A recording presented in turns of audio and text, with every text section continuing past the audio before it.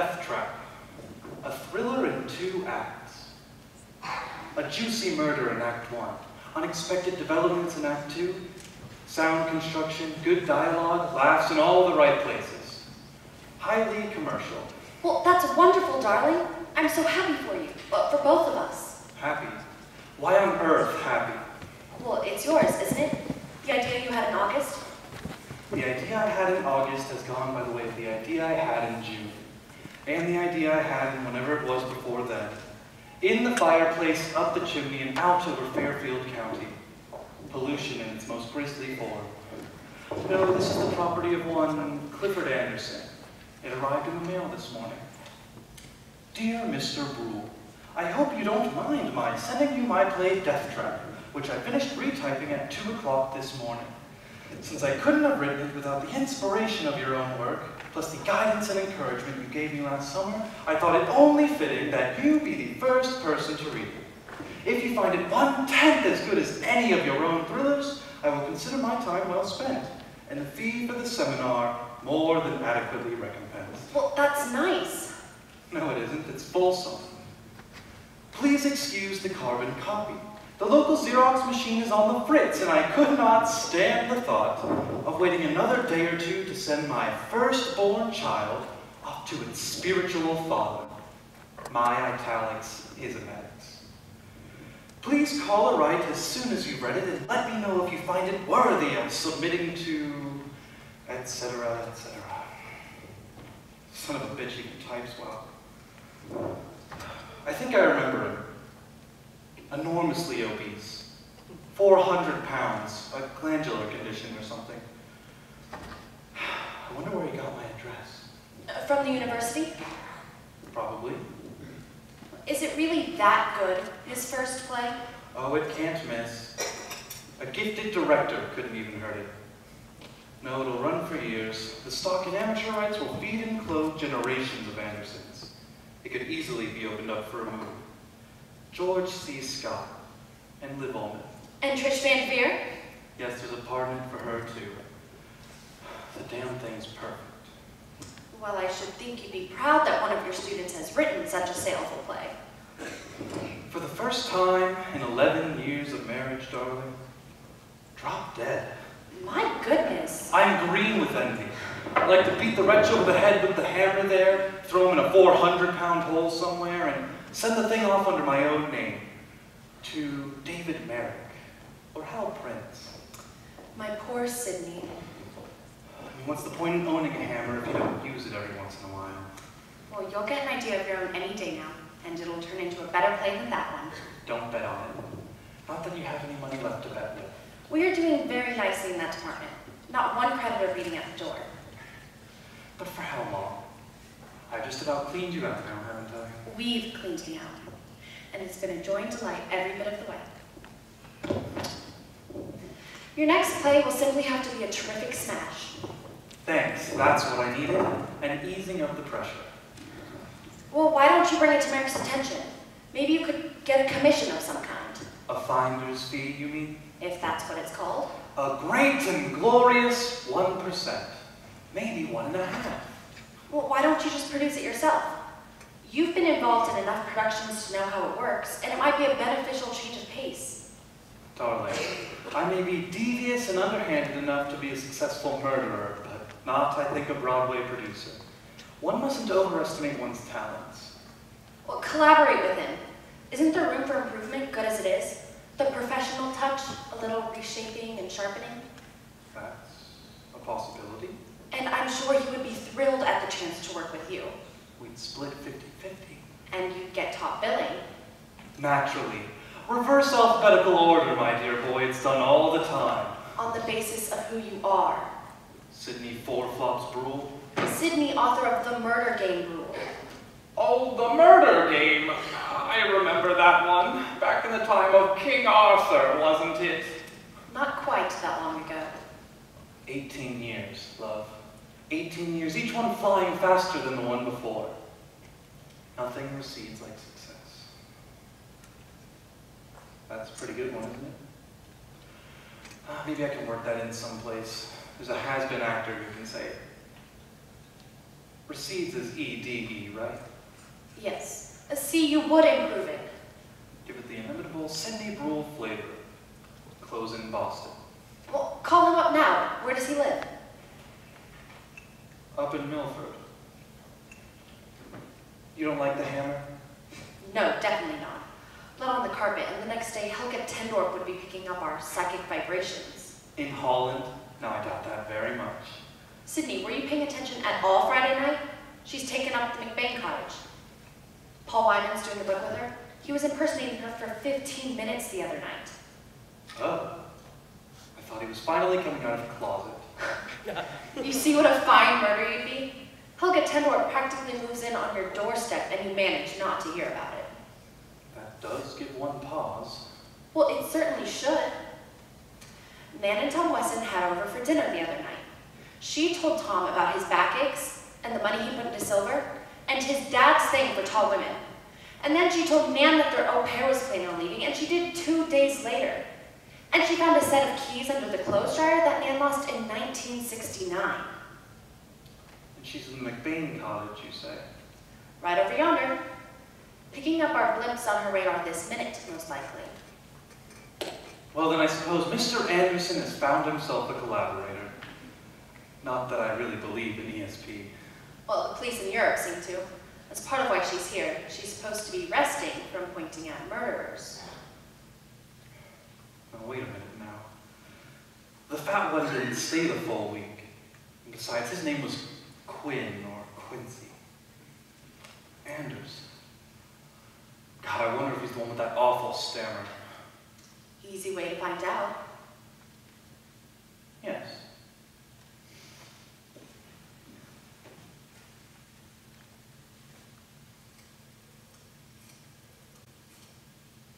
This could be a three-hour conversation.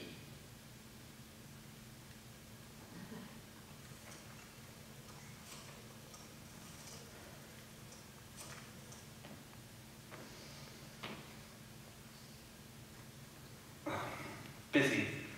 Probably talking to Merrick already. So what's for dinner? A salmon. Again. Yes. Sidney, would you actually murder to have another successful play? Don't be silly, darling.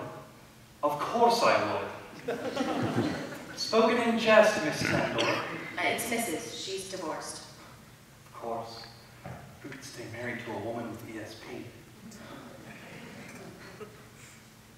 Well, don't fix me with that basilisk stare, whatever a basilisk happens to be. Wouldn't you like to go into Sardi's again, securing the knowledge we're not going to be seated in the kitchen?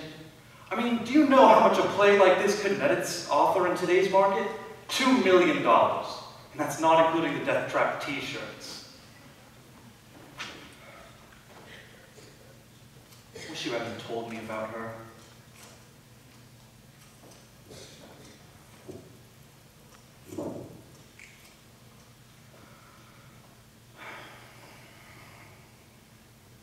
Here we go. Hello, is this Clifford Anderson? Sidney Bruhl. As a matter of fact, I have. I finished it just about 15 minutes ago. And I must say, in all sincerity, you have an enormously promising first draft. I was just telling my wife Myra here that if you give it the reshaping it needs, point it up in the right places, throw in a few good laughs, it could be right up there with Sleuth, or The Murder Game, or Dial M. It has the makings, as we say. I imagine you would be. Yes, I know that feeling all too well. I thought the murder game was finished the first time around. But then someone with much more experience in the theater took it in hand and revised it with me. Improved it tremendously, I don't mind admitting. George S. Kaufman. He didn't take credit, though God knows I urged him to, because he was badly in debt at the time and didn't want it known he was getting a share of the royalties. But look, I could be wrong about this. What kind of reaction have you had from other people? Oh. No one at all. Well, that's very flattering, but Surely someone has read it. Your friends, your wife, some of the twerps from, I'm sorry, yes, people from the seminar. Oh. Yes, well, that sounds ideal. Complete isolation. And all you have to do is check the thermostat and water the plants. You know, I'm surprised you've only written one play since July. I'd have tossed off three or four by now. I am. A marvelous thriller. Based on the life of Helga ten Dorp. You know, the Dutch psychic? She's a neighbor of ours. Uh, it's called The Frowning Wife. But that's only a working title. I'm sure I'll have to come up with something jazzier than that. I love Death Trap, incidentally. The title as well as the play. Or the promising first draft, I should say. I do. Far too many to give you over the phone. Perhaps we could get together sometime and go through the manuscript scene by scene. I'm free tonight, as a matter of fact. Why don't you drive on down? It's not that far. Uh, yes. Well, how about you take a train down and I'll meet you at the Westport station and run you over. It'll be better that way. We're way off in the woods. You'd have a devil of a time finding us. We have to send up flares when we're expecting people. Oh, do. Oh, hold on. He's uh, house sitting for a couple who are in Europe. His car's in the shop for repairs. Unmarried. Do you think he's open to the idea of collaborating? Yes, I think he might. Was George S. Kaufman even alive when the murder games? Hello? oh, um, oh, well, that's a bit early. What's the next one? Oh, well, that's too late. We'll make it the 729, and there's an 11 something from New York that I'm sure stops in Milford. You won't have any trouble at all getting back home. And would you mind bringing the original with you? The carbon's a strain on these weary old eyes. Good. Oh, and Terence. Do you mind if I call you Terence? Why? No, no, no, no, of course, of course. Um, Clifford, Clifford, yes. Uh, I might be a few minutes late, Clifford. I um, have a few errands to run. But uh, you just wait for me by the station and I'll be along shortly. A navy blue Mercedes. That's right. Good night. Think he's the one without any obvious defects. What errands do you have to run? Didn't you say something about library books? Picking them up or dropping them off? No, I didn't. Oh, I thought you did. Well, the Xerox machine has been fixed, but he decided to wait a day or two in case I had any small adjustments to make. No one else is ready. No one even knows he's been working on it. And no one will see you picking him up?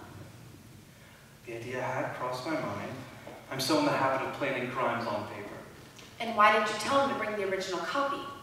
Well, you heard me. The carbon is a strain.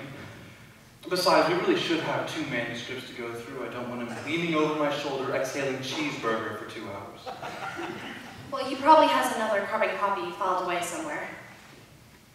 Yes, most likely. Plus all of his notes, outlines, early drafts. Opening night of my dazzling triumph, and his gray-haired mother comes down the aisle, accompanied by the Milford and Westport Police Departments.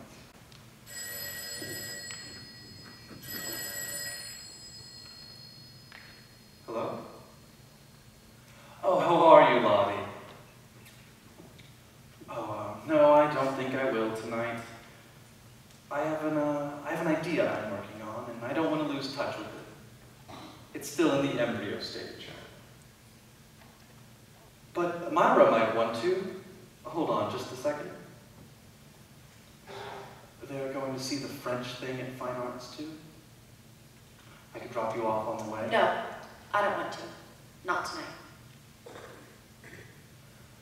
Lottie, Myra will pass too.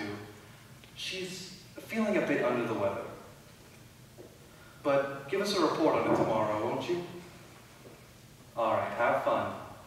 Goodbye. You don't have to stand guard over me, you know. I only kill when the moon is full. Why did you lie just now? Why didn't you tell her someone was coming over to see you? Is it their business? I don't know why I lied. I'm just alive. And the moon was full last night, except for a sliver down near the bottom. Really? Well, then I suppose I'll just have to exercise massive self-control and remind myself of that other carbon copy, which almost certainly exists. If not for that, Sidney, would you? Could you? Probably not. Probably I would chicken out. They say that committing murder on paper siphons off all the hostile impulses, and I'm sure it does. And yet it does also give one that familiar feel of committing murder. Just as owning a weapon and handling it opens one, however slightly, to the idea of using it. But there's a world of difference between a paper victim and a real one. No, I'm sure Clifford Anderson will return home tonight, manuscript clutched in tiny or huge or relatively normal-sized hand. Well, and I'm sure he would be thrilled at the chance to collaborate with you. And who knows, maybe you could do a play based on Helga ten Dorp. But not called The Frowning Wife. The smiling wife, the cheerful up kind of thriller.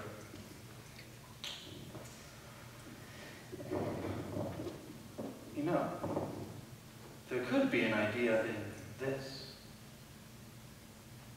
A playwright who's undergoing a dry period gets a newly hashed play in the mail from a twerp who attended his seminar.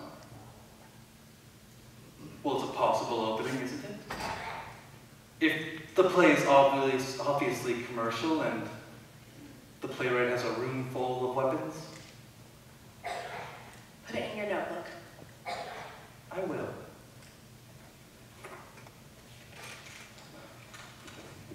Pity he's got the title Death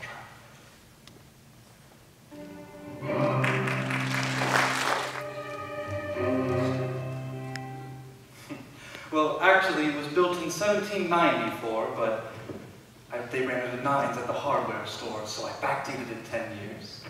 It's a beautiful house. Historical Society had kittens. Hello. Hi. This is Clifford Anderson, dear.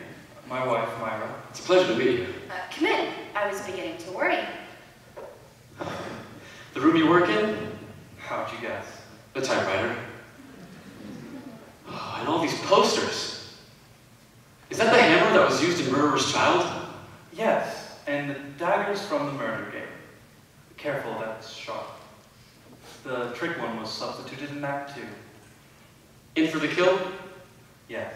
I can't understand why that play didn't run. Critics peeing on it might be the answer. Uh, the train must have been late, was it? No, Mr. Bruhl was. Train was on time. I uh, had to get gas, and Frank insisted on fondling the spark plugs. Did you know Gunpoint was the first play I ever saw? I had an aunt that lived in New York, and I came in on the train one Saturday.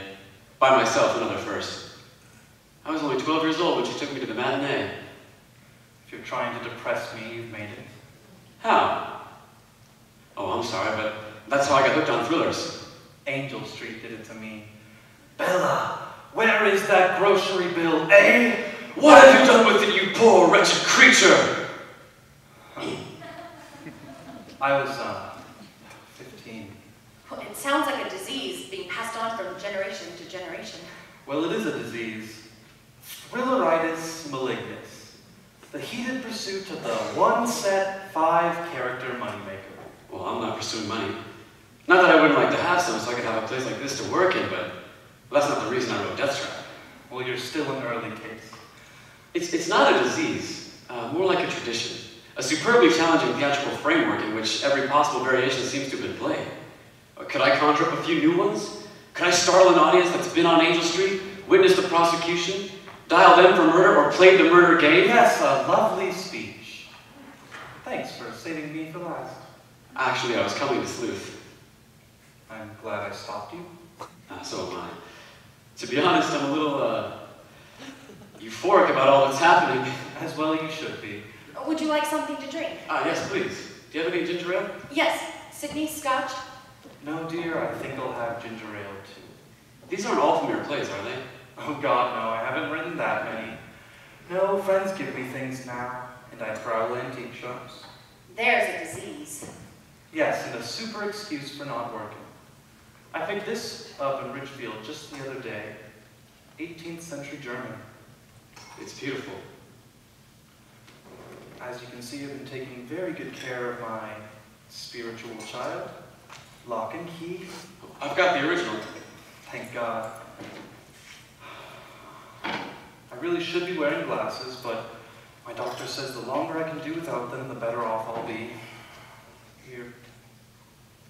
There you are. Oh, it's not in the binder for the Xeroxing. Makes no, never mind. I've got the first draft here, too. There's a scene in Act 1 that I might have been wrong to cut. And the Diane and Carlos scene uh, uh, starts earlier, before the no Crow is back. Thank you. Did you do several drafts? Uh, no, just the one. It's a mess, but I'm sure you'll be able to decipher it if you'd like to see those two scenes. I would, by all means. I had a feeling there was a Diane and Carlos scene I wasn't seeing. Before the murder? Yeah, I was afraid the act would run too long.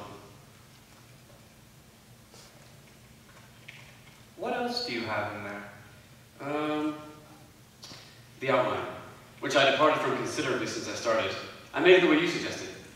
A page per scene loose leaf, and then some notes I jotted down and never got around to using. Threw away the ones you used as you used them? Yeah, Same way I work. everything was in one binder, so I grabbed it before I left.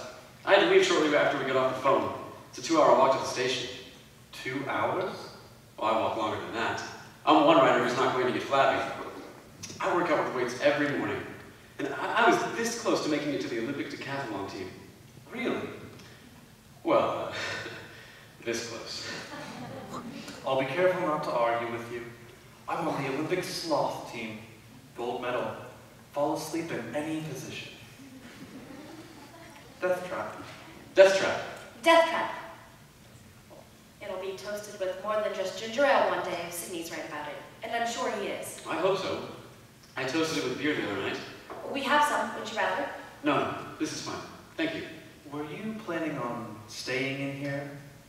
Yes. Do you think I overdid the set description? All the exact locations of every piece of furniture?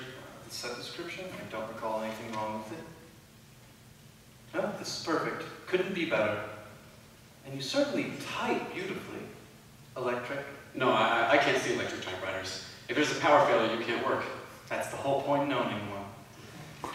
No, the real trouble with them, or I find with Zenobia here, is you can really only make one good card. The second is so muddy that it's illegible. You don't have that problem. Mr. Anderson, Sidney is bursting with creative ideas about improving your play. I'm sure he is. I can't wait to hear him. Couldn't you do that in the living room, dear? There's no good work light in there. I seem to recall a paisley chair with a light beside it bright enough for the engraving of Bibles on pin heads. The light is too bright and the chair is too low. I'll be quiet.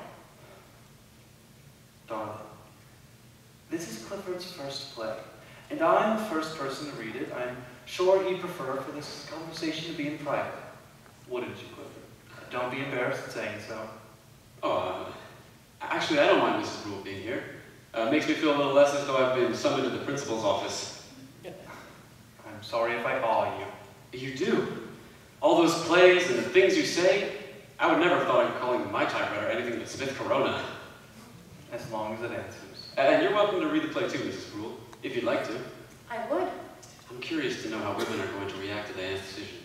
About the gun? Well, Sidney told me a little bit about it at dinner, but he left out all the surprises. I don't even know who kills whom. Good, you shouldn't. If you'll pardon me for saying so, I think that was the trouble with Murderer's Child. I mean, from the opening of the curtain, it was so obvious that Dr. Mannheim was going to bash poor Teddy. You didn't leave any room for doubt. I mean, the audience should suspect, yes, but they shouldn't be totally certain, should they? Doesn't that tend to uh, diminish the suspense? Yes, you may have a point there. I wish you had mentioned on the phone that you wanted Myra to read it. I'd have had you bring another carbon, and she could be reading it right now while we have our talk. Well, I didn't think she'd be interested. And anyway, uh, I don't have one. You don't have another carbon?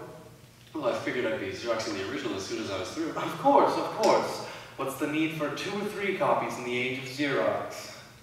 Well, um, she could just read this one, and we could pass the pages back and forth. Or, or I could sit next to Wait! her. Um, just let me think for a moment. Just need to think. Mr. Anderson, Sidney has some wonderful ideas for improving your play. I've never seen him so enthusiastic. He gets plays in the mail all the time, finished plays supposedly ready for production, from agents and producers and aspiring playwrights. Normally he just tosses them off to the side and says the most disparaging things you could ever imagine. I know he could improve your play tremendously. He could turn it into a hit that would run for years and years and make more than enough money for everyone concerned. Is that what you meant by all be quiet?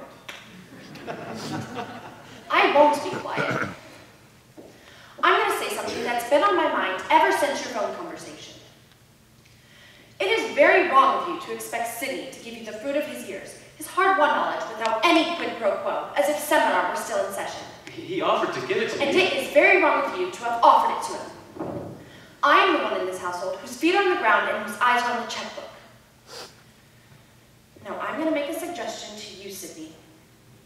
It's going to come as a shock to you, but I want you to give it your grave, thoughtful, and earnest consideration. Can you do that for me? Will you promise to do that for me? Put aside the play you're working on. Yes, put aside the play about Helga Tendor and how she points out murderers and finds keys under clothes dryers. Put it aside and help Mr. Anderson with his play. Collaborate with him. That's what I'm suggesting. That's what I think is the fair, sensible, and rational thing to do in this situation is.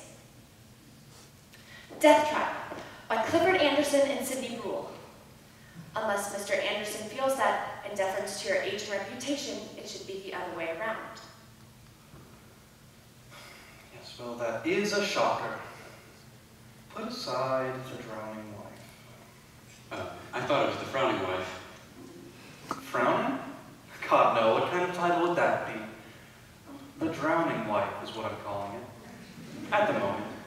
It has these women's lib overtones, plus the ESP. It's such a timely play. And it will keep Sidney. People are always interest, interested in psychics who can point at a man and say, this man murdered this man. Put it aside. Please. Do for Mr. Anderson what George S. Kaufman did for you. Well, that's awfully persuasive, Myra. How does it grab you? Oh, well, uh, I suddenly feel as if I'm on the spot. Oh, well, you are, really? Myra's put you there. Put us both there. I felt it should be said now before anything was done. And yes, you were quite right. Clifford, what's your reaction? Um, uh, well, first of all, I'm overwhelmed. Um, honored, really, and staggered that you would even consider putting aside one of your own plays to work with me on mine. I mean, there I was when I was 12 years old sitting in that theater, and who would think that today I'd be standing here getting the chance to... Yes, we get the gist of this passage. It's a golden opportunity that I'm sure you have to seize with both hands. You should, yes. But um, the thing is, uh, it's as if I went to a doctor, and um, he recommended surgery. And, well, even with my respect for his experience and his evidence in the field, I'd still want to get a second opinion, wouldn't I? And I'm sure you're right, I'm sure your ideas are terrific, but, well, I don't think it'd be fair for me to hear them now without some sort of understanding or arrangement. And to be perfectly honest, without having heard them, I feel that Death Trap is, is very good as it is. Not perfect, certainly, but I don't think it needs surgery. Uh, what I think I ought to do is Xerox the original first thing tomorrow and then send it out to a few of those agents you recommended to us. And if they say that a major rewrite is in order, then well, I'll be back here on my knees begging you to do for me what George S. Kaufman did for you. I'm sorry, I, I hope I haven't offended you. Not at all. Mr. Anderson, please, agents know about contracts, but they don't, Don't, know... Myra. Don't beg him. He'll think he has the wealth of the Indies here and where Mr. and Mrs. John will feed. Uh, I would never think anything like that, Mr. Frill. I'm, I'm honored you're even willing to help me with this. But I'm not, really. Now that I've had a moment to consider the matter, I would never put aside a play as timely and inventive as The Drowning Wife, to do wet nurse work on one as speculative as Death Trap. Sit down, Myra. You're making me nervous standing there. Do as you said. Make a few copies, show it to a few agents, and if you decide that major rewrites are in order, get in touch. I might hit a snag. It's happened once or twice. Thank you. I will. Though I doubt I shall. I've got it entirely outlined and more than halfway done. And I have a second play ready to go next. Based on the life of Harry Houdini. Oh? Oh yes, magic's very in now. Just look at the success of the magic show. And Houdini's always been an idol of mine. You know, these are a pair of his handcuffs. Sidney, Oh, relax, darling. Clifford's not the type of person who would steal someone else's idea. You wouldn't do that, would you? No, of course not. See? No cause for alarm. His heart as far from fraud as heaven from earth. Remarkable man, Houdini. Made all of his own magical apparatus. Did you know that? Uh, no, I, I didn't. Magnificent craftsmanship. Here, have a look. Sidney, please. Sit down, Myra. Sidney, for God's sakes, think! He's an honest young man, Myra. Now will you sit down and stop being so all-fired suspicious of everyone who comes through that door? we had a nasty experience a few years back with a plagiaristic playwright whose name I shan't mention since he's gone to his maker. Recalled for repairs. Ever since, Myra's been along, if I so much as tell another writer the language I'm working in. Don't take it personally. Have a good look at those. They're quite remarkable. And They look so real. Well, they were made to. And apparently solid and escape-proof. They certainly seem that way. Be my guest. You mean put them on? Yes, that's what I mean when you're holding my prized pair of $1,200 Houdini handcuffs, and I say, be my guest. Put them on. Twelve hundred dollars, huh? Wow.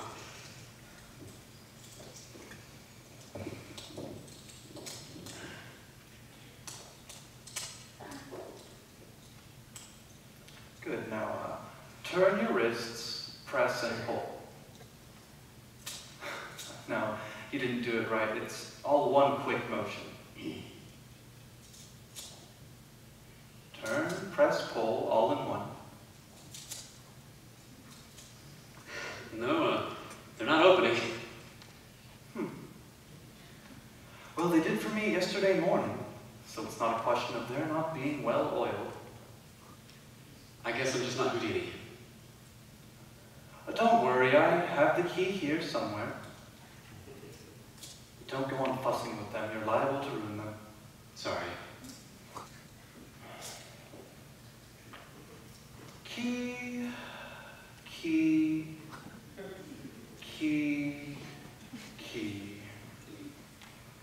Where are you, little brass key? Did you know, uh, this could be a good idea for a thriller? It could, I mean it. How so? Oh, well, uh, say a young playwright attends a seminar that an older playwright conducts. And inspired by the seminar, he writes his own play and then sends it off to the older playwright. He reads it and then calls the younger one and uh, he invites him over for ideas for rewrites on the play, getting him to bring over the original and, and all of his notes and everything. Of course, you'd have to have the Xerox machine breaking down to explain why there are only two copies, and the play would have to be very good. The younger playwright, I mean. And then the older playwright would have to have not very much going for him at the time. An enormous concatenation of unlikely circumstances, don't you think? Well, maybe, yes, but we've almost got it here, haven't we? I mean, the only differences are that you've got the Houdini play and the drowning wife, and, and Death Trap probably isn't worth killing for. I'll bet uh, no one even saw me getting into your car. Well, there you are. You've licked your second play problem. I think it could be turned into something fairly interesting. What do you think, Mrs. Bruhl? I don't like it. It frightens me. I wonder if I could have put it up here somewhere. Oh, um, I forgot to mention. The, I'm supposed to be receiving a phone call soon. There's a girl coming to see me around 8.30. Uh, that's about what time it is now, isn't it? I, I didn't have time before I left, so I left a note on the mirror in the hall saying where I would be and the number that she could call to find out what train I'd be taking back. That way I wouldn't have to walk two hours again.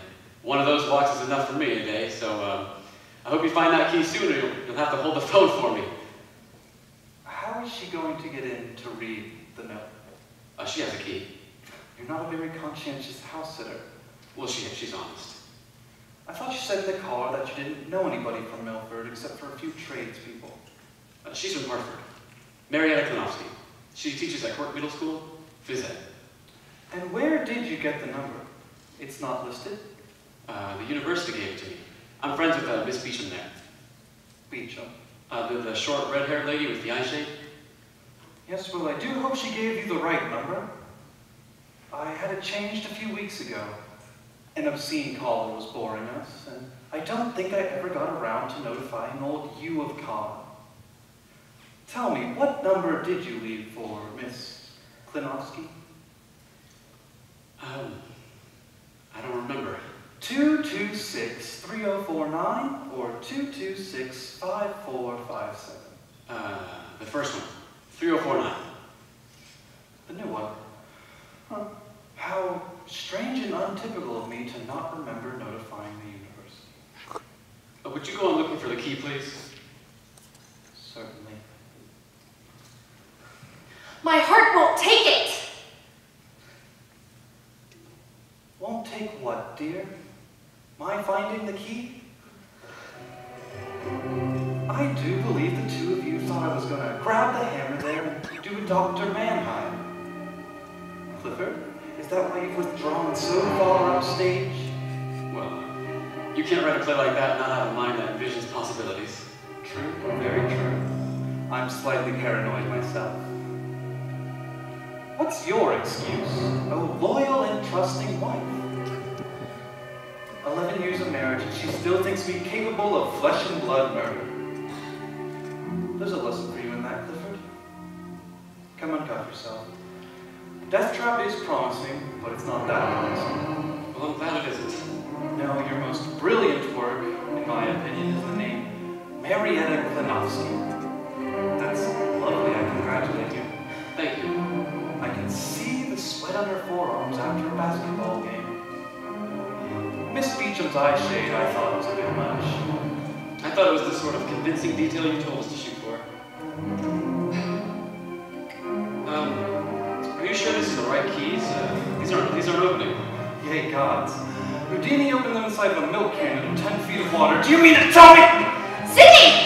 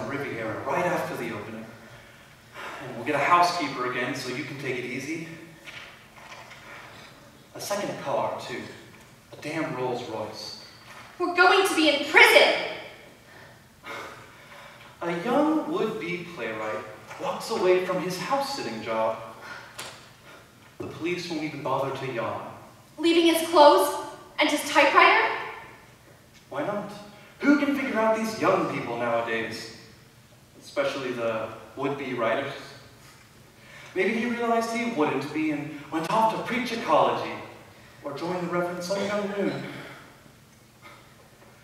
Who knows? Maybe the house will be broken into and poor little Smith Corona stolen. What are you gonna Barium? Behind the garage? No, the vegetable patch. Much easier digging. Going to be a winner again. All of our dear friends are going to see you living off of my money. Picture their confusion. Huh.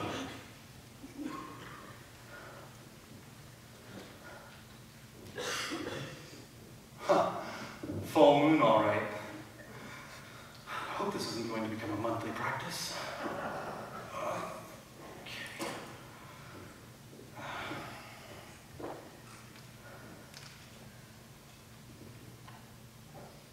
Would you mind helping me carry him? Well, it's been done, Myra. There's no point in my getting a hernia.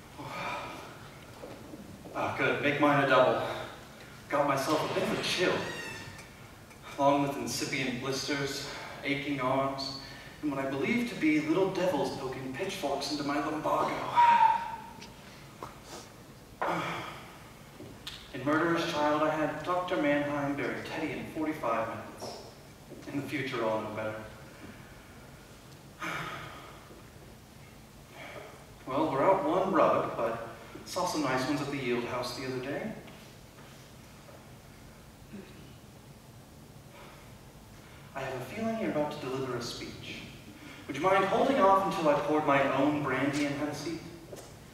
I'd intended to. I've learned something in 11 years of melodrama. Good girl.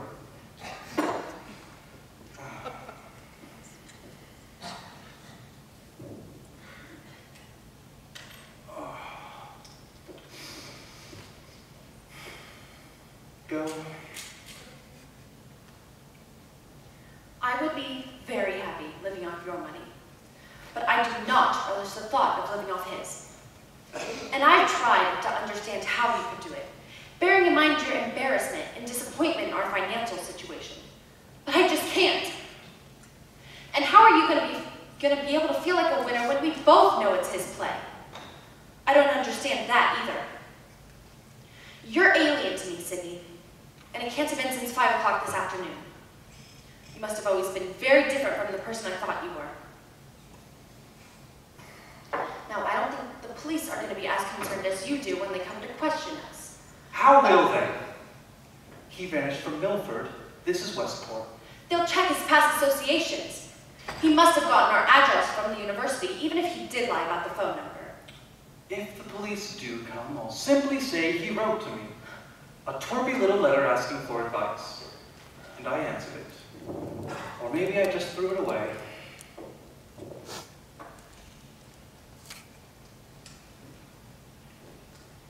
In a month or so, if we haven't been arrested, I want you to leave.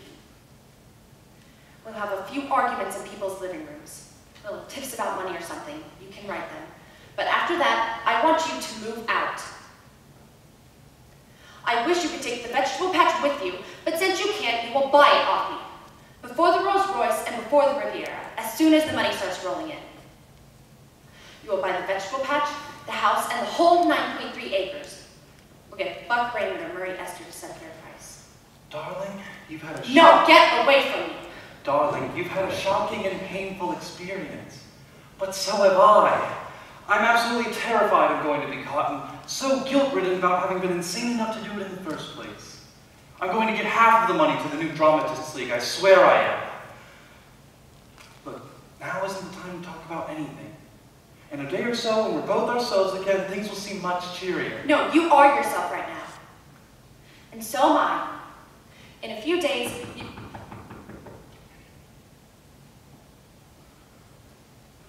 Go ahead. He wrote me a torpy letter, officer. It must be Lottie and Ralph, Come to Anna about the movie. It's probably Helga ten Dorp. Don't be silly, darling. It's Lottie and Ralph, damn it. Can you face them? No, you better not. Head upstairs and I'll... No! I'm gonna stay here and let you worry that I'll fall apart. Coming. Who is it? I'm your neighbor in House of McPain's. Please, will you let me come in? It's most urgent I speak to you. I calls the information, but the lady will tell me not your number. I am friend of Paul Wyman. It's most urgent. Uh, come on in.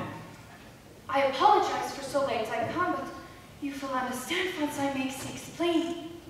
Oh, yeah, yeah, it's room I see. With the beams and fender like so. Oh, it's a pain. Such pain. Pain, pain, pain. Pain, pain, pain. Yes, well, we're uh, neither of us up to snuff today. Oh! Just as I see them. Why you keep such pain covered scenes? These shoes are giving me bad vibes also night.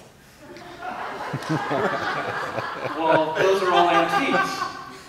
And uh, souvenirs from plays. I'm a playwright. Yeah, sit me through. Paul Wyman tells me. We make together. My wife, Myra. How do you do? What gives you such pain, dear lady? Nothing, I might, really. Oh, no, no. Something you see pains you.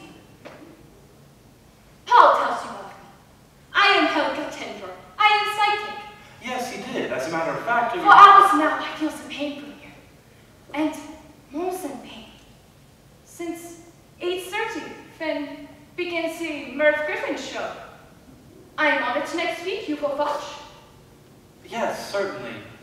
Make a note of that, Myra. Peter Hurkos goes also.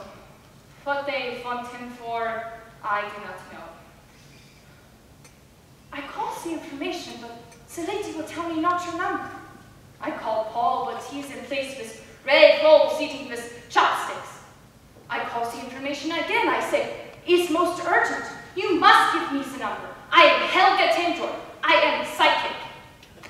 She say, guess number.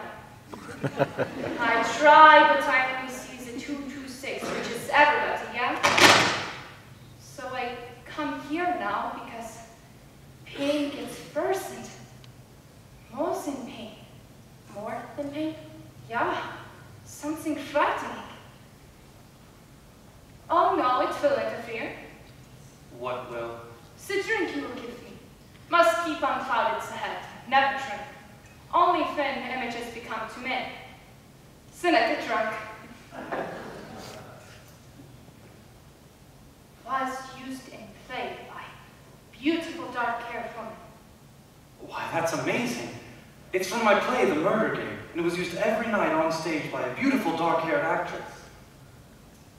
It Will be used again by another woman. Not in play, but because of play.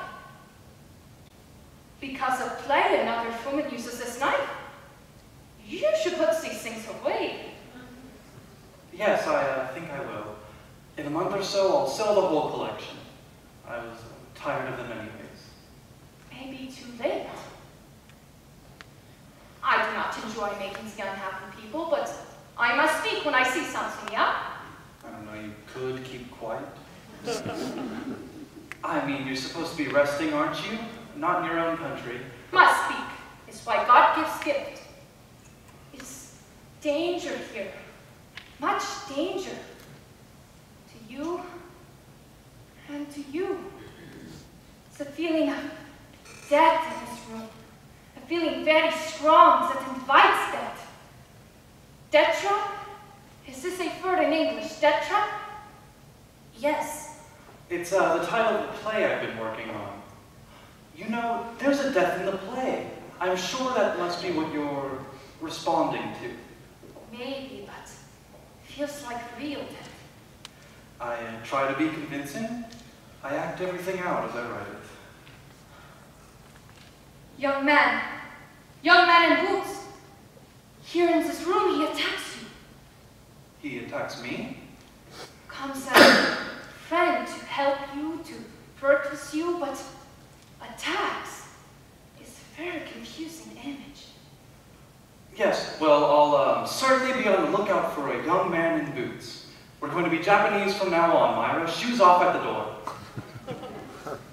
He sits in this place and talks of Diane There's a Diane in the play.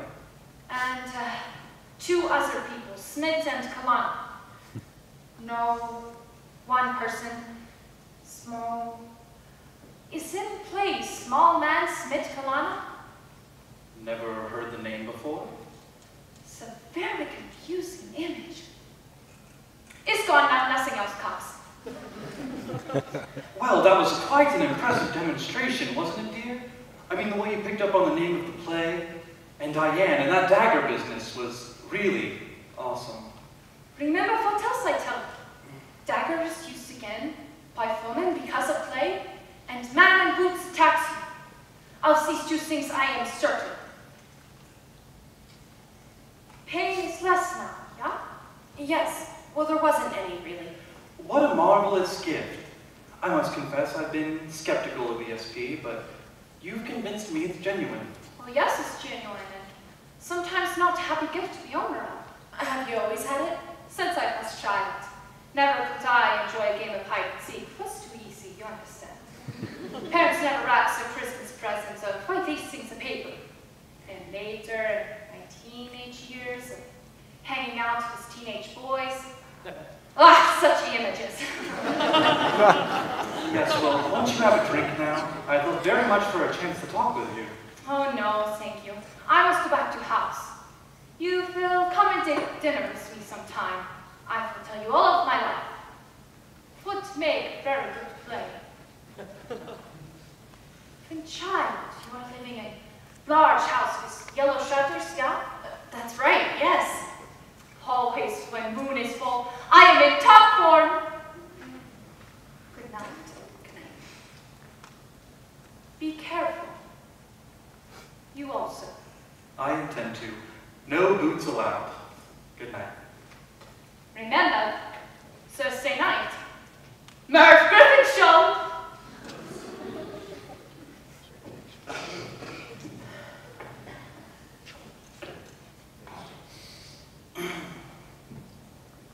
Well, if that's the best you can do, we really have nothing to worry about. You're not afraid of the dangers she saw. Not especially. We are going to be arrested. I don't see how. If the police do come and they do bring her into it, which hardly seems likely, so what? She'll have them combing the tri-state area for a small boy with two spools of ribbon. One here, one here. She saw him sitting there. She heard him speaking. But she had the main point backwards. You'll see, there's nothing to worry about. I'll boil that thing tomorrow morning, or throw it away, and that'll be the end of it. In a few weeks, this will all be behind us. I couldn't help myself, Myra.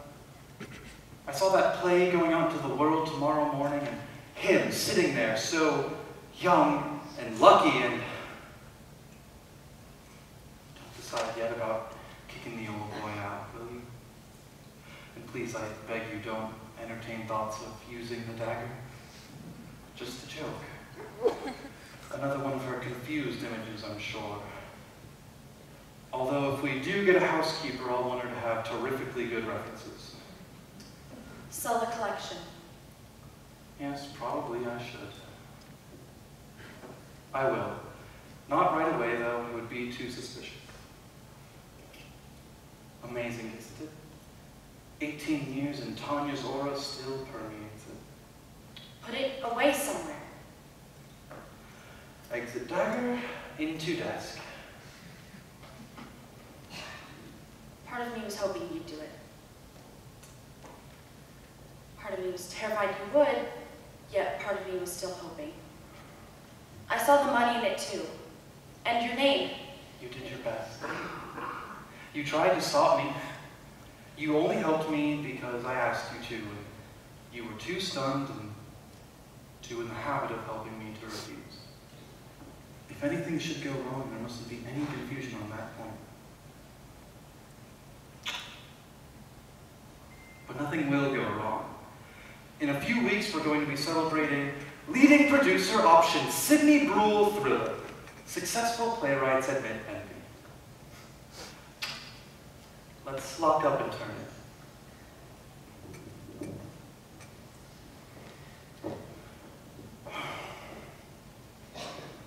Is it possible that murder is an aphrodisiac? what a blow it would be to the importers of ginseng root, not to mention the departments of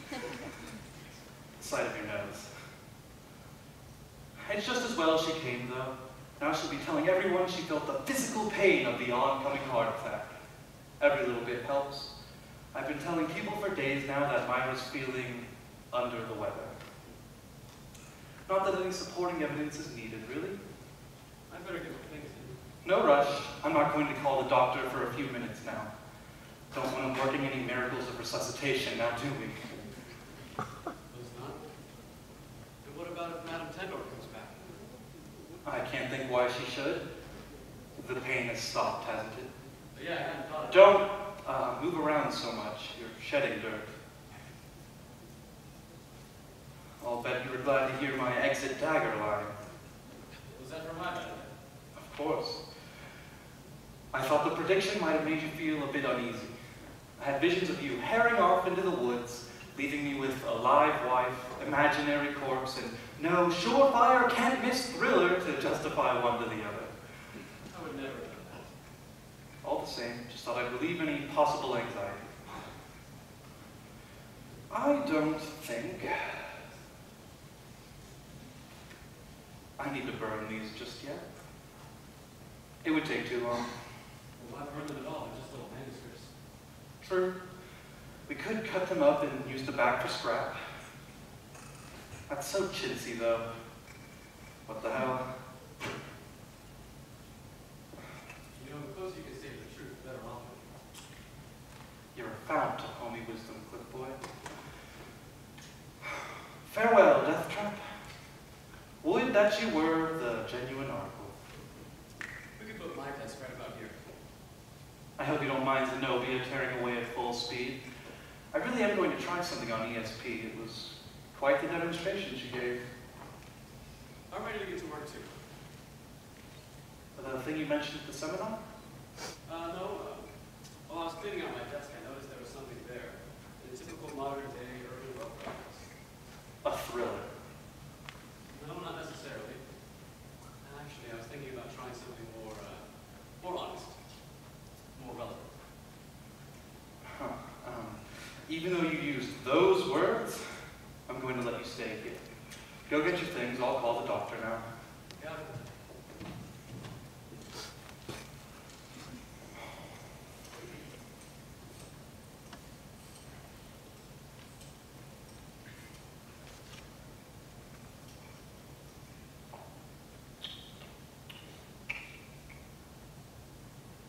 Hello.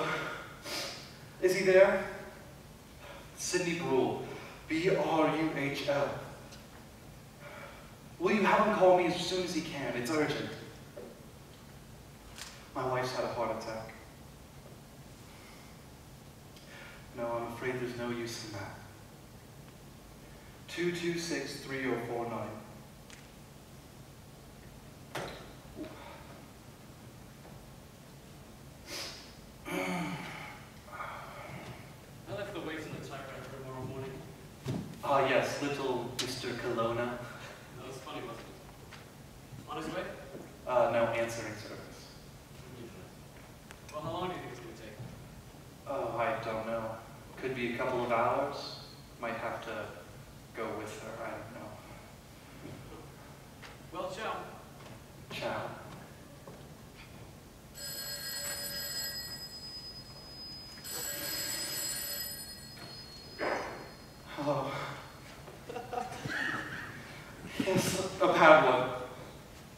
Mouth-to-mouth resuscitation for 10, 15 minutes, but there's nothing. She's been feeling under the weather the past few days. I wanted to call you as soon as it happened, but she wouldn't let me. She said that she was only feeling under the weather because.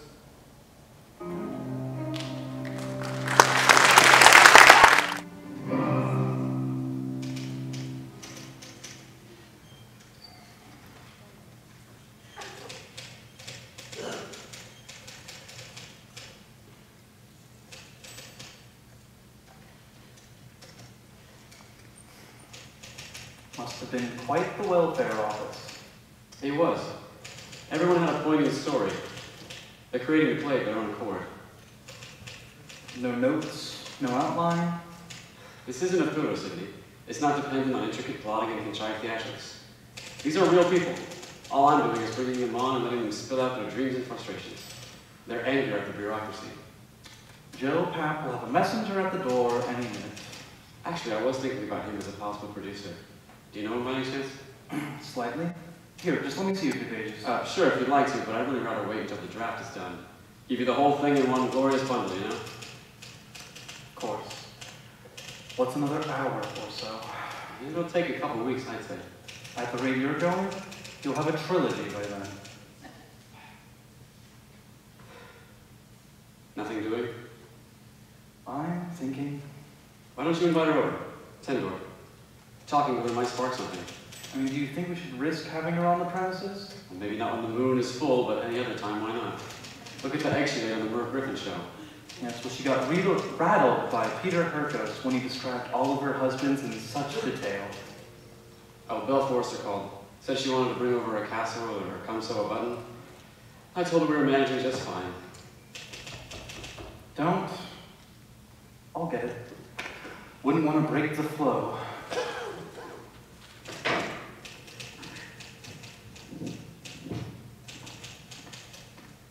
Porter! How's it going? Come on in. How are you, Sidney? I'm doing fairly well, thanks. Well, I have a couple things I need to talk to you about. Am I disturbing you? Not at all. I'm glad of the chance to finally take a break. How come you're not in the city? I have to be in New Haven by noon. The secretary?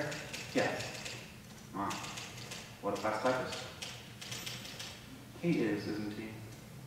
I'm so, here. Come meet him. Clifford Anderson, this is my friend, Porter Milgrim. How do you do? I need you, sir. I would say my attorney, but then he would bill me. I'm going to anyway. This is a business call. I'll partly introduce. Clifford here attended the seminar I conducted last July. He asked me then about a secretarial position, and when Myra passed on, I realized I would need an extra hand around the house. So I called him, and here he was. Have typewriter, we'll travel. That was very good of you. Well, it's a pleasure to be working for someone like Mr. Bruhl. How is Elizabeth? Fine.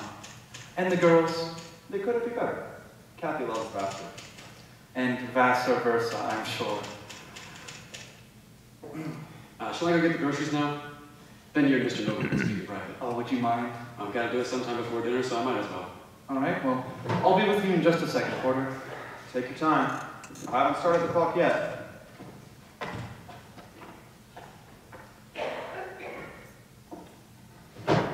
I love this room. Isn't it nice? It's a pleasure working here. He's looking well. Yes, he's picked up quite a bit in the past few days. The first week was the worst, though. He was crying every night. Could hear him plainly. And he was drinking heavily. Ah. But he'll pull through. His uh, work is a great solace to him. It must be. I've always envied my writer clients on that account. You know, I tried to play once. Really? Yeah. It was about the Supreme Court justice I admire most. Even the title was a problem. Frankfurter. Is uh, 20 enough? Too much. I'm only going to Gibson's. We just need salad things and milk. I will uh, pick up some yogurt while you're there. Anything but prune. Ah, you're not in the driveway, are you? Oh no, I pulled over on the side. All right. Well, see you later. Or nice to meet you. Oh, I'm sure we'll be seeing each other again. Pleasant young fellow. He is, isn't he? Do you think he's gay? A homosexual. I know what gay means, Sidney. no, he didn't strike me that way. I have a sneaking suspicion he might be. But as long as he does his job well, I suppose it's none of my business. Well, in essence, he is a domestic employee, and I think that in such circumstances, his sexual preference could be a legitimate matter of concern. I wasn't asking for a legal opinion. I was just saying it's really not any of my business. Well, in that case, no, it isn't. Besides, people would talk if I took in a female secretary, wouldn't they? If she were under 80. That's what I thought. So I called Clifford. No, I'm glad to see you looking so well. That's mostly why I'm here. I was delegated by Elizabeth and the Westons and the Harveys. You see, the young man had been discouraging our calls, and we thought that you might be in worse shape than he was letting on, but obviously that's not the case. I'm not quite up to socializing yet, but I'm coming through. The work is a great solace to me. What do you want to now? A play about a woman with ESP, based on the life of Helga ten Dorp. She's in the McBain cottage, you know. I do know. Now, tell me, is it true what everybody's saying? That, uh, I'm sorry. Do you mind talking about this? Not at all. Go ahead. Is it true that she really pointed to the spot on the floor where Myra was going to fall? No, no, no, no, no, no, no. Nothing like that. Nothing at all like that. All she did was come in here and say, There is pain. There is great pain in this lady's chest. And Myra said, Well, there's slight pain. She said, Still, with your history, you should see your doctor. Which is what I've been telling Myra for days. It's uncanny being able to sense things that way. I'm sure you'd be able to write a very fine thriller on the subject. It's coming along. Business time. Yep. All right. The first item on the agenda is your will. Now that Myra's gone, you ought to look it over. As things stand, if anything were to happen to you, your cousins in Vancouver would inherit. Would you like to keep it that way? Um, I don't know. I'll have to think about it. Do. Don't put it off. And this is the second item. It's only approximate because I don't have any up-to-date appraisals on the real estate, but this is what you can anticipate, give or take a few thousand dollars. I I didn't know there was this much. Well then, Myra must have been keeping a few secrets. She knew. Her records were in apple pie order. Well, um, how much of this is the government going to grab up? Oh, oh, not much. The first 250,000 of that is exempt from the federal tax, and the state tax, which starts at 50,000, is only a few percent. Huh. Oh, and there's a third point, Sidney. I was talking to Mari Escher at the planning board meeting last night, and he said that you spoke to him about selling off a few acres. Oh, well, I'm not sure that I will now. You can't. You have to wait until the will goes through probate. Yes, of course, I knew that. I was just asking him how much he thought I could get for it. Oh, he was jumping the gun. Not you. I just wanted to make sure you were clear on that point. So, what's the procedure? You dictate and he types? No, no, I do all my own typing. I'll have him retype the finished product, of course. And he does the letters. Is that what he was doing earlier? Letters? No, um, uh, play of his own. The seminar. Of course. Started it yesterday, we'll probably finish it tomorrow. I uh, hope he's not stealing your ESP idea. Have you discussed it with him? What makes you say that? I saw him lock what he was working on in his drawer. Unobtrusively, but I noticed. maybe he thinks you'll steal his idea. Hardly. Life at a welfare office. The dreams and frustrations of half a dozen people you just as soon not spend an evening with. He worked in a welfare office? Yes, that's what he was doing. Well, then it may just be force of habit. People who work in large desks, or offices often lock their desks. Unobtrusively? Quite the reverse, I think. Hey everyone, look, I'm locking my desk! It may simply be his way of doing things. I'm sorry if I bored you with the suspicious legal mind and all that. Better get going if I'm going to be in uh, New Haven by noon. Old trustees luncheon. Say, have you checked from the insurance company come in yet? No, it hasn't. Well, then I'll just have to write him a letter first thing in the morning. Thanks, I would appreciate that. Will you come have dinner with us? Um, in a week or so, I think I'll be ready to face the world again. Good enough. Take care. You too. Give my love to the girls I will. and Elizabeth.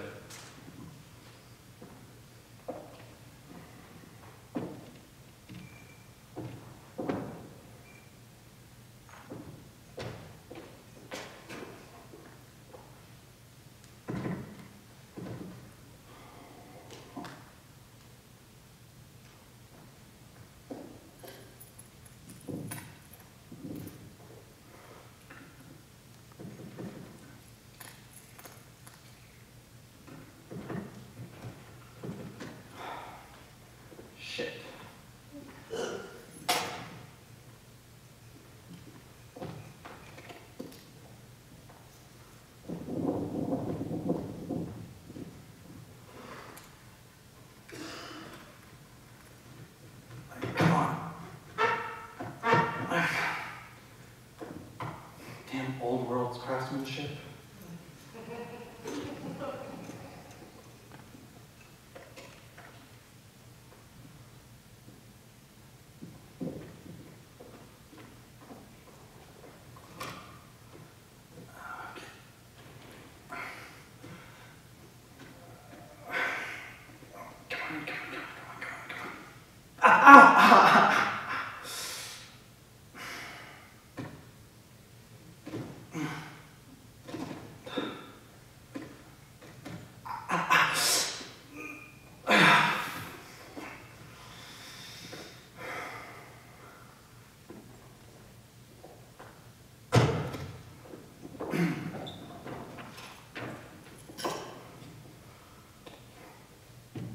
Well, that was quick.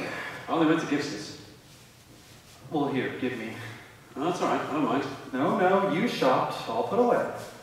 Get back to the welfare office. God forbid. Changes in the bowl. And uh, the avocado is supposed to be organic.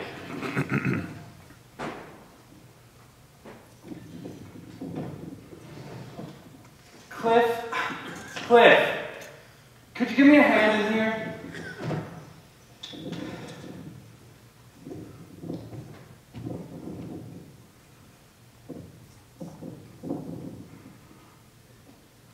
Well, where are you? Um, where are you?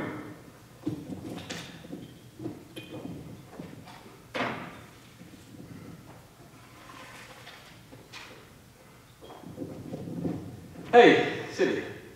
Oh, there you are. Didn't so I came around. Need those Olympic fingers.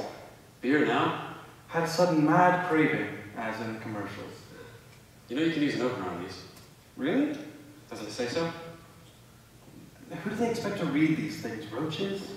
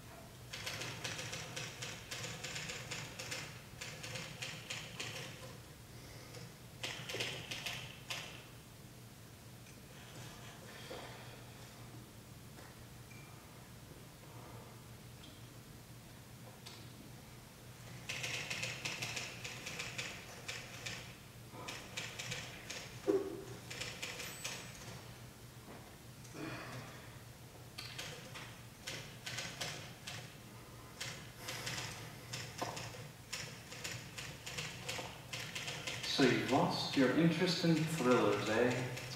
Mm-hmm. No taste for the intricate plotting, the glib, superficial characters. Uh, nope. Want to do something real, meaningful, socially relevant. Would you cut it out? Your idea is going to start to come. Just give it time. And try not to bug me.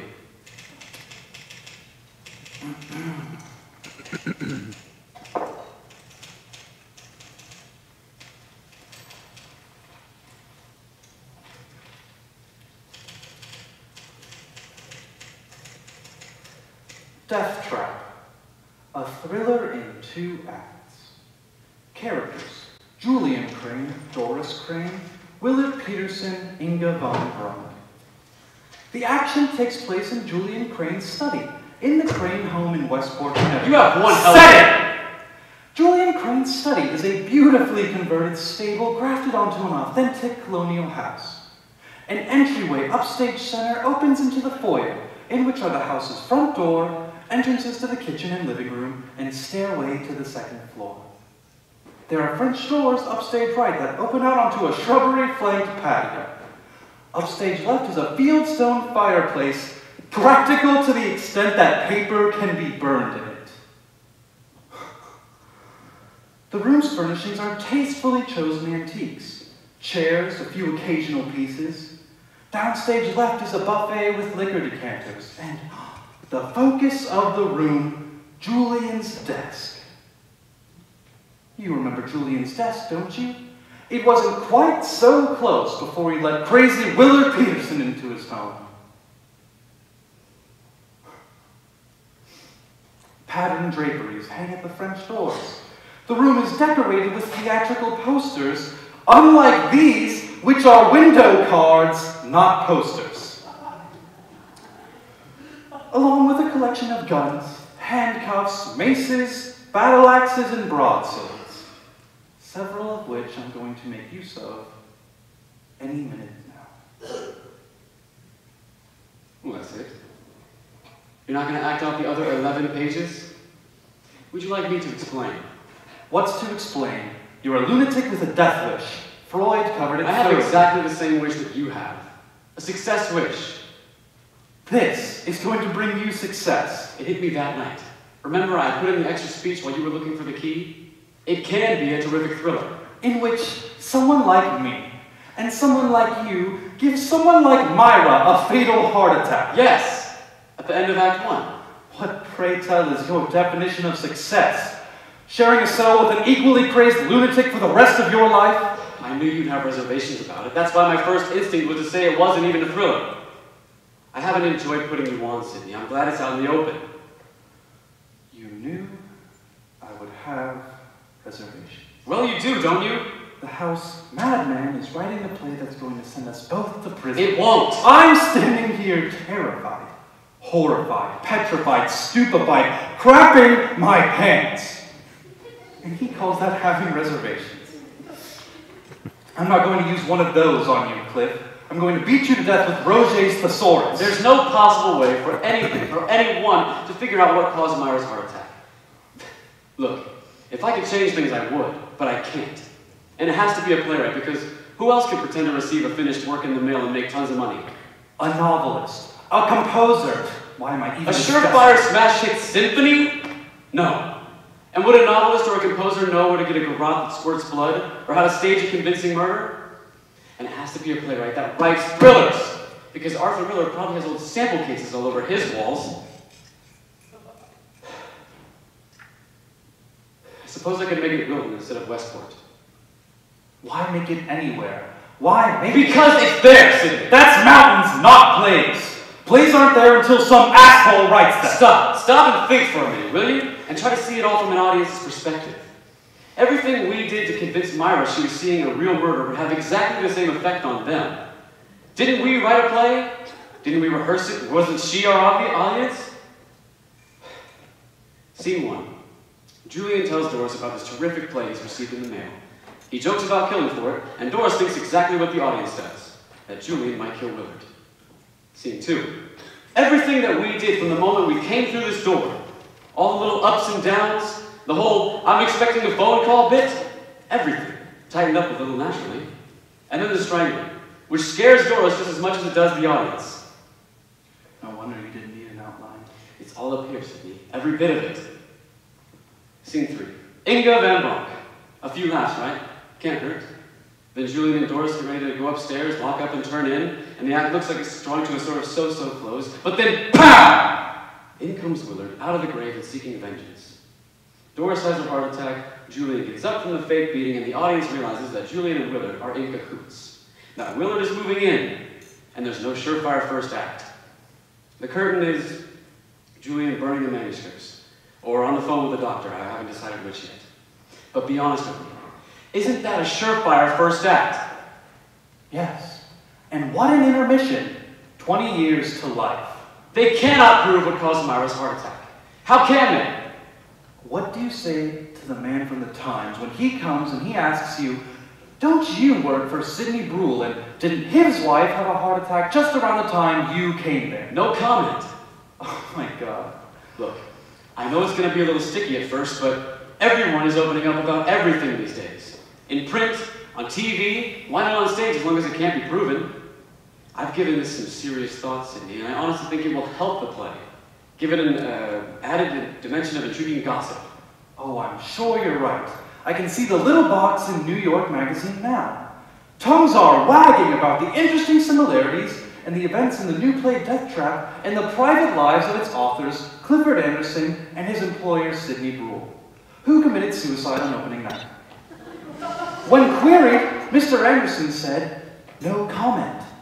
Well, I have a comment, Cliff. No. Absolutely, definitely no. I have a name and a reputation, tattered as it is, still good for dinner invitations, house seats, and the conducting of summer seminars. And I want to live out my years as author of the murder game, not psycho who knocked off his wife. Why, look, a fieldstone fireplace. Let's see if it's practical to the extent that paper can be burned in it. Don't! You there. If you burn that, then I'll go out of here and I'll write it somewhere else. I'll, I'll get a house sitting job. Give it to me. Give it! I helped you kill for the chance to become what I wanted to be, and you will not take that away from me. And I hoped after you'd seen the first draft, you'd be able to get over your Angel Street uptightness and pitch in. But I guess that's not going to happen anymore, is it? A collaboration. It's mostly your idea. I'm not pretending that it's all my baby. I know Act 1 is coming out heavy and stilted, but I hoped we could be a team. Bruhl and Anderson. Rogers and Heartless. Now you see? I could never come up with something like that.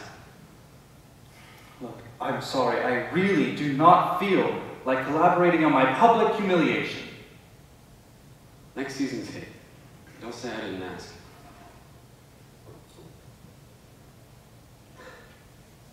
You know, maybe I better move out anyway. Why? When Helga ten Dorp said that that dagger would be used again by a woman because of a play, maybe she wasn't that far off target. Now, don't be silly. I would never dream of harming you. Besides, you'd break my neck. Damn right I would. So don't talk about leaving. I don't know. I'm not going to be happy with you being uncomfortable with this. So I'll whistle a lot. Maybe I am being a little old-fashioned and uptight. You are! These days, geez, who cares about anything? Certainly could use half the royalties of a good solid hit. I'll bet there's a movie in it too. Porter just gave me the figures on Myra's estate. It's even less than I expected. $22,000, half of which goes in taxes. There's the land and house, of course, but I can't sell any of that until the will goes through probate, and Porter says that could take two or three years. The offer's still open, Sidney. You know, it did occur to me that afternoon that the play in the mail thing would make a good first scene. It's mostly your idea. All I did was help out with a few of the details. Actually, it's pretty neat the way you managed it. The damn thing's a fortress. I tried breaking it. Porter noticed you locking up, and I thought you were doing something on ESP. I thought I was being so conspicuous.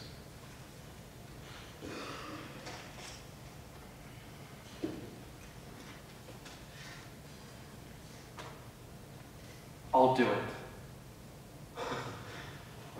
Let the people talk. I'll blush all the way to the bank. You mean it?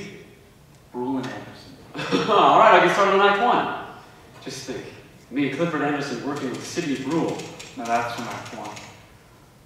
Act Two is going to be tricky. How so? Well, we've got the murder in Act One. Two murders in effect, really. Act Two is liable to be a letdown. Not necessarily. We'll bring in a fifth, a fifth character, like a, a Connecticut version of the one in Dial M. Inspector Hubbard. Yeah, yeah, and, uh, and Inga Van Bronk. We should bring her back. A good comic character like that should never go to waste. We gotta make the most of her. You go on drafting Act One. Let me do a little thinking on Act Two.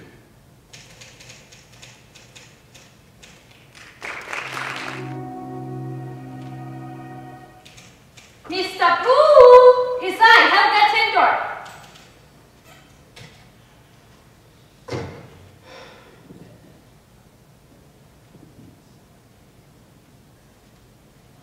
Come on in.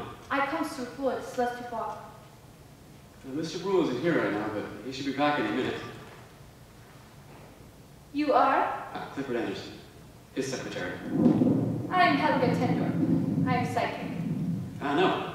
Mr. Bruhl's told me quite a bit about you. I understand you predicted his wife's death. Yeah, yeah. Was much pain. Right here. Very sad thing. Uh-huh. Such a nice lady. Yeah, this room. He is well, Mr. Brew. Yes, fine, actually. He went out to dinner. He said he'd be back around 10 minutes. Uh, about a quarter past now. Filthy big storm. Much rain and wind, lightning and thunder. Trees will fall. Are you sure? Yeah, was on radio. I come to bottle candles run in house. You have? Uh, I'm not sure, but there must be some. Uh, I'll go look. Why don't you have a seat? You wear boots? Yeah, everyone does these days. They're quite comfortable. You are a long-time secretary to Mr. Brew? No, uh, only about three weeks. I came shortly after Mrs. Rule died. Uh, I'll go look for God, what a bore that turned Mr. out. Rule. Hello. Mrs. ten Dorp is here. Good evening, Mr. Brew. Hello. How are you? Well, Did you get my note? yeah, thank you. Yours was most kind. And the Uh, flowers. do we have any extra candles?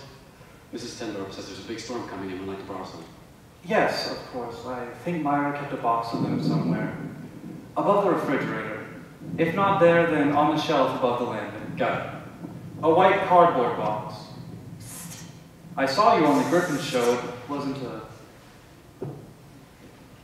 What is it? This man I warn you of. Man in boots who attacks you? Oh my God. I mean, in the turmoil of Myra's death, I must have entirely forgotten about that warning. Is he? Candles are not I come have many candles. But tonight I feel the danger here again, and the feeling is very strong. You should not have him here. Do you know, I made up my mind just tonight to have him dismissed. I had my attorney check him out in Milford and. Oh! Yeah! yes. But naturally, Corona, not Corona. This is why I see image on small man's face. Q W E R T Y U I O P. You should send this man away tonight. I'm going to. To give him his notice at any rate. And now that you've come and warned me, I certainly won't put it off. Listen, you're certain you saw him attack me. What was image on TV? So sure. Oh, Clifford, come on in. Thank you, I take two. Oh, well, you're welcome to take more. No, two are enough. It's really blowing up out there. Yeah, sometimes they're right with their predictions. I just stay. There's no need to. I hope you beat the rain. I go to boys just to walk. Well, it's um, it's pitch black out there. You sure you'll be able to find your way? Yeah, I have a torch. Well, good night.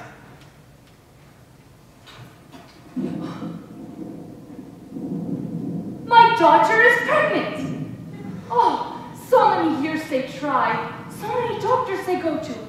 But now they make me a grandmother. God dang, God dang. I must call and tell them.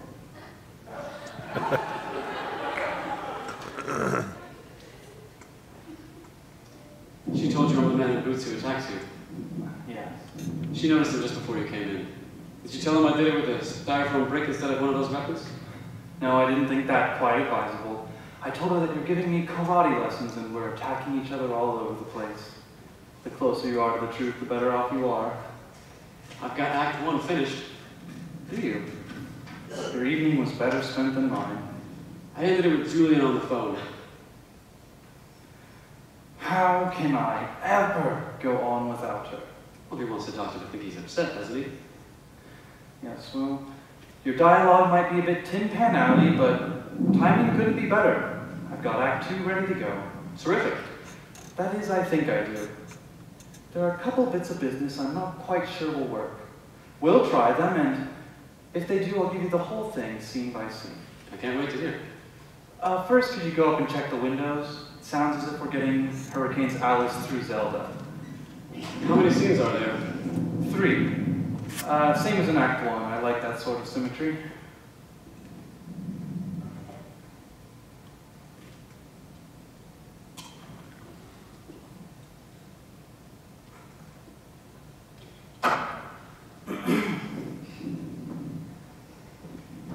Windows are closed. What are the bits of business? Well, they're in the final scene, back to back, as it were. Willard has spilled the beans, and our Connecticut version of Inspector Hubbard has come to beard Julian in his den. Quite berserk, Julian shoots the inspector in the left arm. But there was only one bullet in the gun. So now Julian needs to get to the upstage wall in order to grab a weapon and finish the job.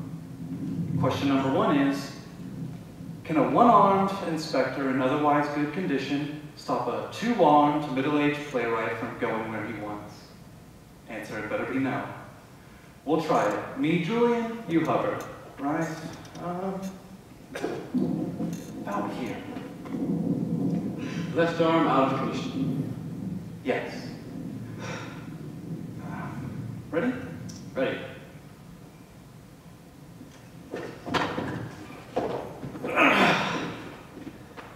Well, you gotta try better than that. I think that would be convincing. Not even to a theater party. Now, come on, give it a real try this time.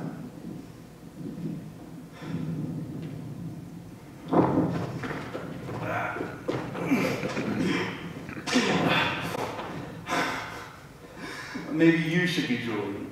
I was afraid I would tear your shirt. Cliff, dear, we're trying to become rich and famous.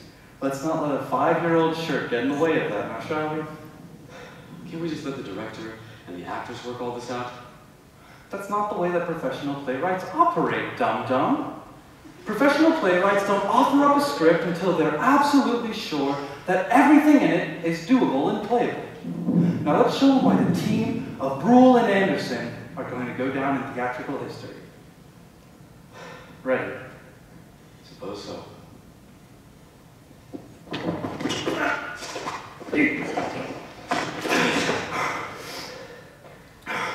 Voila! It worked. There, see, I tore your shirt. Oh. And I scratched your neck. I'll survive. The second bit now. Much less strenuous and very brief. Glad to hear. Go over the wall there, would you? Take the axe.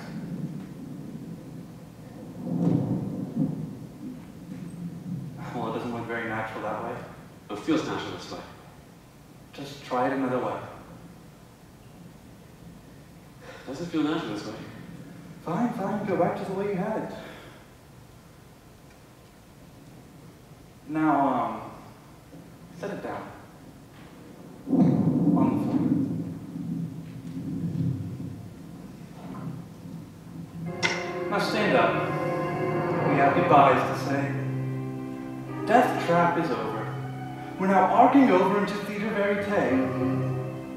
Gun from gunpoint. No blanks as at the old Lyceum, though.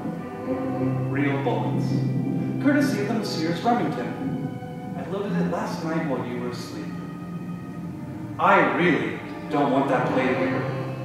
Even though nothing can be proven, too much will be talked about, and I'm a little too old, and yes, uptight, to join the Washington secretaries, the ex-lovers of ex-presidents, happy hookers and happily hooked in the National Bad Taste Exposition. And I honestly can't think of any other way to make sure you won't have me set up in a centrally located booth. So I had Porter check you out. A few blocks showed up on your record. Precisely the ones you told me about.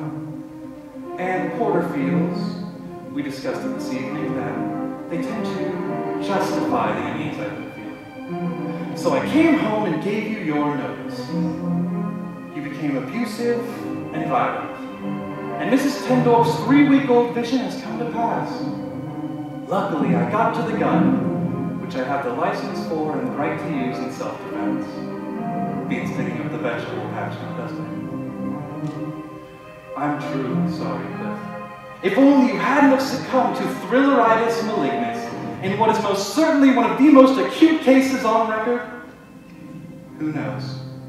Maybe we really could have become the team of Bruhl and Anderson. But as it were, we'll have to be only Bruhl.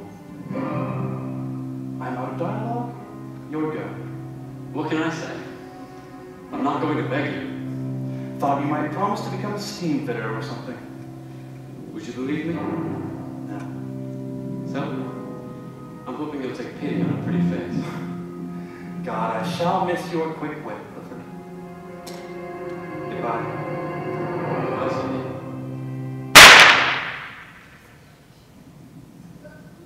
I thought a click might be a little anticlimactic, so I bought some blanks while I was out getting the real bullets.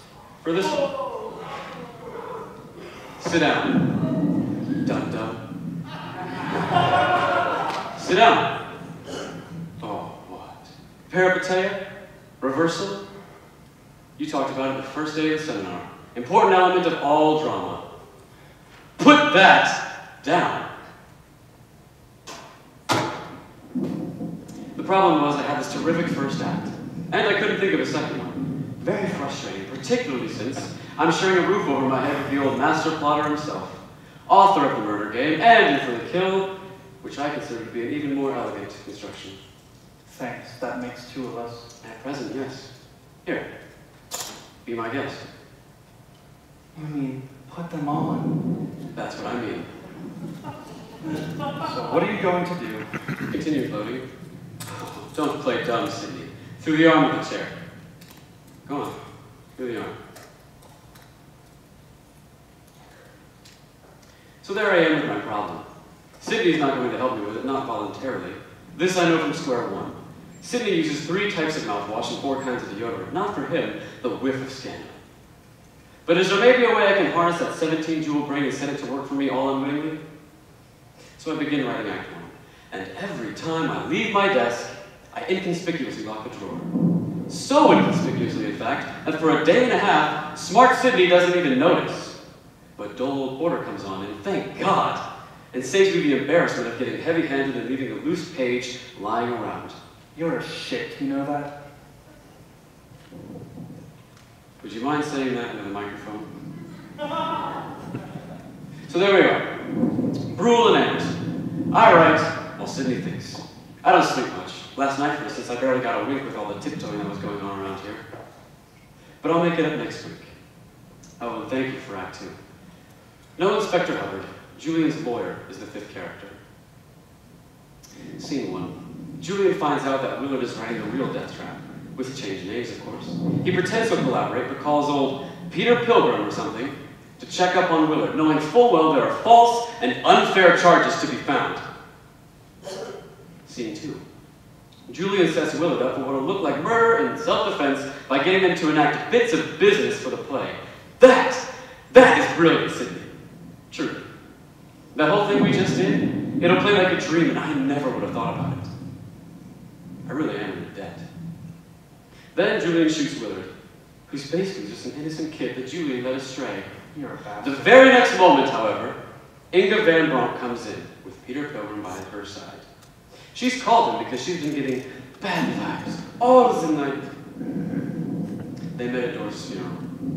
Willard lives just long enough to tell the truth about himself and Julian and Doris' murder, and Julian shoots himself. Curtain.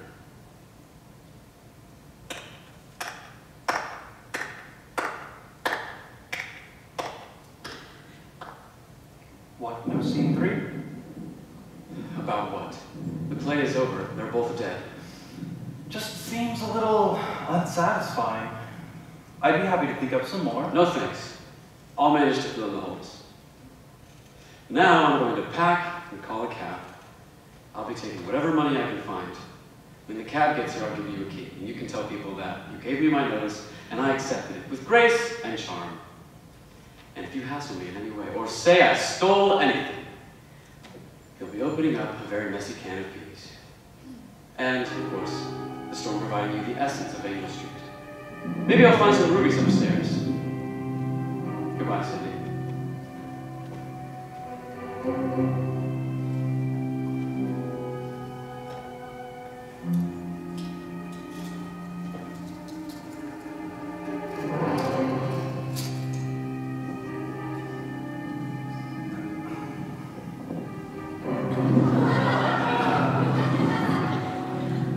Clifford? Those were Houdini's.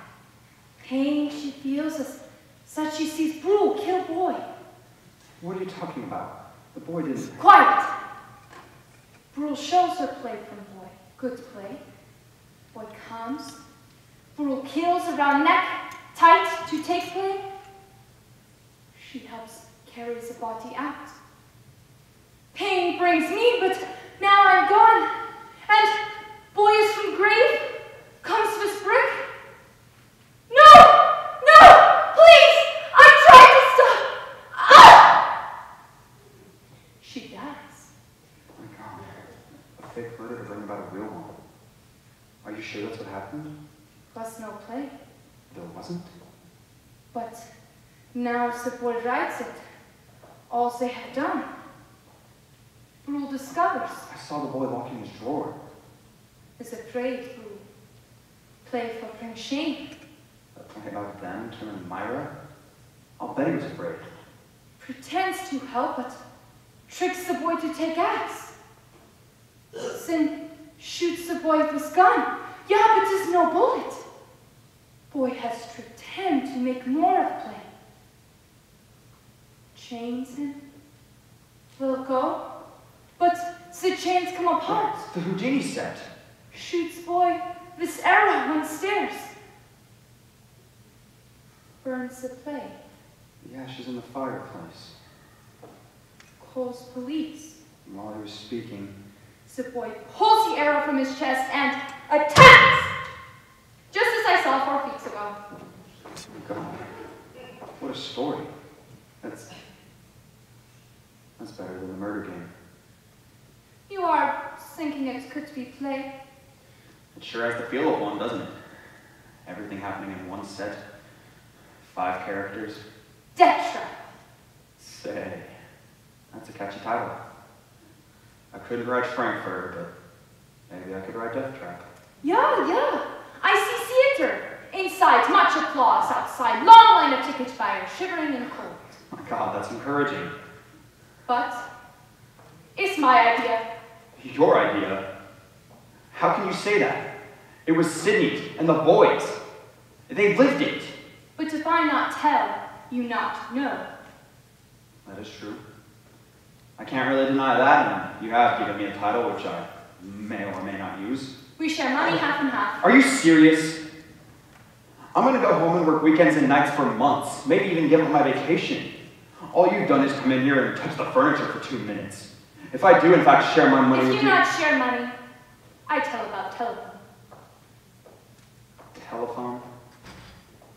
You speak to pretty lady on telephone. For shame, a man like you, important lawyer, this wife and two daughters.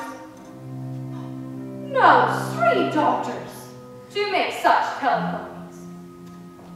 Why, you interfere. Be careful. Knife is sharp. Amsterdam police have taught me self-defense. I am strong and unafraid. You you foreign busybody! You, you Dutch meddler!